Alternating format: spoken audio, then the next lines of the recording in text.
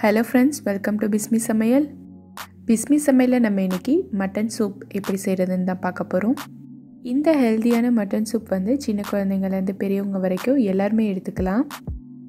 இந்த mutton soup செய்கிறதுக்கு தேவையான பொருட்கள் என்னென்னு பார்க்குறதுக்கு முன்னாடி நீங்கள் நம்மளோட சேனலை ஃபஸ்ட் டைம் பார்க்குறதா இருந்தால் நம்மளோட பிஸ்மி சமையலுக்கு சப்ஸ்கிரைப் பண்ணுங்கள் பக்கத்தில் இருக்க பெல் ஐக்கானே கிளிக் பண்ணுங்கள் அப்போ தான் நான் போடுற வீடியோஸ் உங்களுக்கு நோட்டிஃபிகேஷனில் உடனுக்குடன் தெரிய வரும்.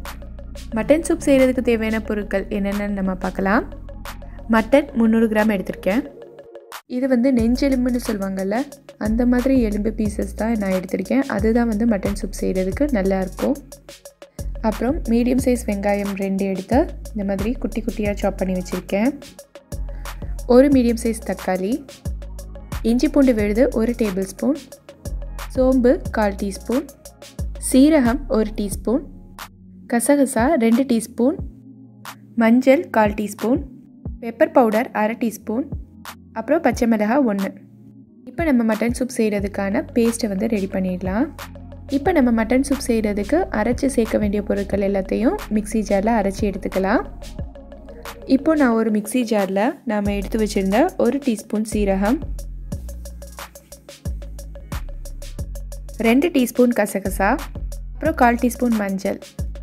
இது எல்லாத்தையும் சேர்த்து தண்ணி ஊற்றி நல்லா ஃபைன் பேஸ்ட்டாக அரைச்சி எடுத்துக்கிறேன். நம்ம சேர்த்துக்கிற இந்த கசகசா தான் நம்மளோட மட்டன் சூப்புக்கு நல்ல வாசனையும் நல்ல டேஸ்ட்டையும் தரப்போகுது. பாருங்கள் நான் தண்ணி ஊற்றி இந்தளவுக்கு ஃபைன் பேஸ்ட்டாக அரைச்சி எடுத்திருக்கேன். இப்போ நம்ம ஒரு ப்ரெஷர் குக்கர் எடுத்து நல்லா சூடு பண்ணிக்கலாம். குக்கர் நல்லா சூடானதும் அதில் ஒரு டேபிள் ஸ்பூன் அளவுக்கு நல்லெண்ணெய் சேர்த்துருக்கேன். எண்ணெய் நல்லா சூடானதும் நம்ம எடுத்து வச்சுருக்க சோம்பு சேர்த்துக்கலாம். சோம்பு நல்லா பொரிஞ்சதும் நம்ம கட் பண்ணி எடுத்து வச்சுருக்க வெங்காயத்தை அது கூட சேர்த்துக்கலாம். எப்போவுமே சூப்புக்கு பெரிய வெங்காயம் யூஸ் பண்ணுறதை விட சின்ன வெங்காயம் யூஸ் பண்ணிங்கன்னா அதோட டேஸ்ட் வந்து ரொம்ப சூப்பராக இருக்கும். என்கிட்ட சின்ன வெங்காயம் இல்லைன்றனால நான் பெரிய வெங்காயம் எடுத்திருக்கேன். உங்ககிட்ட சின்ன வெங்காயம் இருந்துச்சுன்னா நீங்கள் அதையே சேர்த்துக்கோங்க. வெங்காயம் நல்லா வதங்கினதும் அது கூட நம்ம எடுத்து வச்சுருக்க இஞ்சி பூண்டு விழுதை சேர்த்துக்கலாம். இஞ்சி பூண்டில் இருக்க பச்சை வாசனைலாம் நல்லா போயிட்டு எண்ணெய் பிரிஞ்சு வர அந்த ஸ்டேஜில் நம்ம கட் பண்ணி எடுத்து வச்சுருக்க தக்காளியை சேர்த்துக்கலாம். நான் இன்றைக்கி ஒரு மீடியம் சைஸ் தக்காளி தான் எடுத்திருக்கேன். நீங்கள் வந்து தக்காளி அதிகமாக சேர்த்துக்கிட்டிங்கன்னா சூப்பில் வந்து புளிப்பு டேஸ்ட் வந்து அதிகமாக இருக்கும். அதனால தக்காளி எப்போவுமே குறைச்சி சேர்த்துக்கோங்க. பச்சை மிளகாயில் இருக்க காரத்தை விட பெப்பரில் இருக்க காரம் தான் நம்மளோட சூப்புக்கு நல்ல டேஸ்ட் கொடுக்கும். நீங்கள் வந்து அதிகமாக பச்சை மிளகாய் சேர்த்துக்காதீங்க. நான் இன்றைக்கி ஒன்றே ஒன்று தான் சேர்த்துக்கிறேன். இதெல்லாம் ஓரளவுக்கு நல்லா வதங்கினதும் நம்ம அரைச்சி வச்சுருக்க பேஸ்ட்டை அது கூட சேர்த்துக்கலாம். இந்த பொருட்கள்லாம் ஓரளவுக்கு நல்லா வதங்கி இதில் இருக்க பச்சை வாசனைலாம் போனதுக்கப்புறம் நம்ம க்ளீன் பண்ணி எடுத்து வச்சுருக்க மட்டன் எலும்புகளை இதோட சேர்த்துக்கலாம்.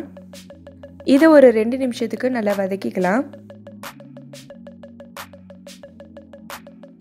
இப்போது இது கூட நான் நாலு கப் அளவுக்கு தண்ணி சேர்த்துக்கிறேன். நம்ம மட்டன் எலும்புகளை வேக வைக்கிறதுக்கு முன்னாடியே நமக்கு தேவையான அளவுக்கு தண்ணி சேர்த்துட்டு அதுக்கப்புறமா குக்கர் குக்கரை மூடி வச்சு வேக வைக்கலாம். இந்த மசாலா பொருட்கள் எலும்புகள் எல்லாமே நல்லா சேர்ந்து வெந்ததுக்கப்புறமா கடைசியாக நீங்கள் வந்து எக்ஸ்ட்ராவாக தண்ணி ஆட் பண்ணி மட்டன் சூப் வச்சிங்கன்னா அது வந்து நமக்கு அவ்வளோவா டேஸ்ட்டு இருக்காது. ஸோ நமக்கு வந்து எவ்வளோ தண்ணி வேணுமோ அதை முன்னாடியே சேர்த்துட்டு அதுக்கப்புறமா குக்கரில் வெயிட் போட்டு வேக வச்சோன்னா நம்மளோட மட்டன் சூப் வந்து சூப்பராக இருக்கும். இப்போது இது எல்லாத்துக்கும் தேவையான அளவுக்கு உப்பு சேர்த்துக்கிறேன். இப்போ குக்கரை மூடி வெயிட் போட்டு ஒரு எட்டு விசிலுக்கு இதை நல்லா வேக விடலாம்.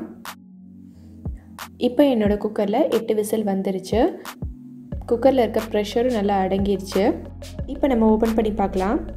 இப்போது இந்த ஸ்டேஜில் நம்ம எடுத்து வச்சுருக்க பெப்பர் பவுடரை இது கூட சேர்த்துட்டு ஒரு டூ மினிட்ஸ்க்கு நல்லா சூடு பண்ணிக்கலாம். இந்த மாதிரி சூப் வெரைட்டிஸ்க்கெல்லாம் நம்ம முன்னாடியே பெப்பர் பவுடர் ஆட் பண்ணுறதை விட கடைசியாக நம்ம சர்வ் பண்ணும்போது ஆட் பண்ணுறது தான் நல்ல டேஸ்ட்டாக இருக்கும். இப்போ நம்ம இது மேலே கொஞ்சமாக கொத்தமல்லி இலை தூவிட்டு ஸ்டவ் ஆஃப் பண்ணிக்கலாம். இப்போ நம்மளோட மட்டன் நெஞ்செலும்பு சூப் ரெடி ஆயிடுச்சு இதை நம்ம ஒரு பவுலில் ஊற்றி சர்வ் பண்ணிடலாம்.